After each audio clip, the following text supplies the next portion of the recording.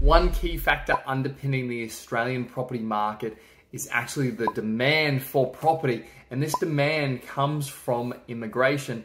Now that immigration has increased again and we're bringing people back into the country, we're going to see more skilled labor come into the country, which means it's going to fill that jobs shortage. We're also going to see a lot of people coming in and wanting to rent property, which means that unfortunately it's going to push the rental price up. It's also going to put pressure on the supply of property. Property development in Australia is a key industry because we have to provide more properties for all the immigrants coming in. So our increasing population obviously needs more places to live. And then as we grow in size, people want to live closer to the city and our city sprawl both upwards and outwards in terms of built form development has to increase. Older properties get demolished, new properties get replaced either as high rises or as new houses on the outskirts, which once was farmland. So that underpinning migration will continue into Australia and it'll actually ramp up and fuel our economy and also our property market. Although overseas counterparts like the US look like they're going into a recession, we are very different. We're a much smaller market here in Australia and we might touch on the brink of recession, but really what's going to carry us through is all of this immigration coming and fueling our property market. So jump into the property market with your eyes open, go and get educated and learn how to manufacture equity in properties and whether you do that through just the buying, which is stage one of the seven stage cycle of property development, or whether you decide to do a property development, which can be as simple as building a single house and making money on that that, you can take a property from stage one, the buying, take it all the way through to completion, which is stage seven, and make a huge amount of money along the way. It's your choice. Just go and get educated, but the next 12 months is a window of opportunity that you're not going to see for a number of years to come. So make the most of the opportunity now.